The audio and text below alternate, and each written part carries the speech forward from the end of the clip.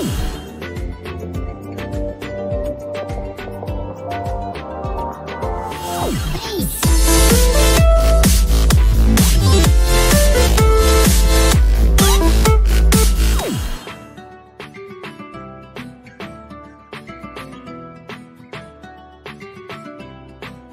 Alright, so these are the ingredients for shabu shabu homemade. So these are the ingredients. First is the Chinese cabbage. We have here the grab stick.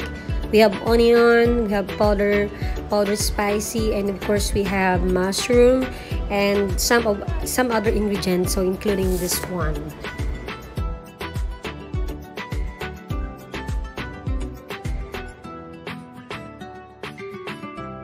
Alright, so these are these are the procedure how to make the homemade shabu shabu. So first we need to boil the water and after the boiled, so just put a thin slice of uh, beef.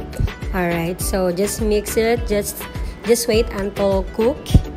Alright, so just wait for 10 to 15 minutes. Okay, just make sure it's cooked.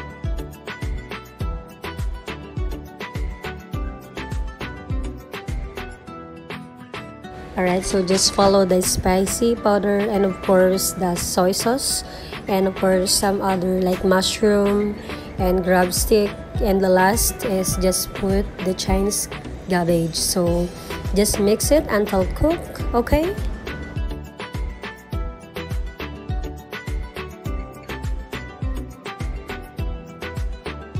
Alright, so the shabu shabu is done. It's easy.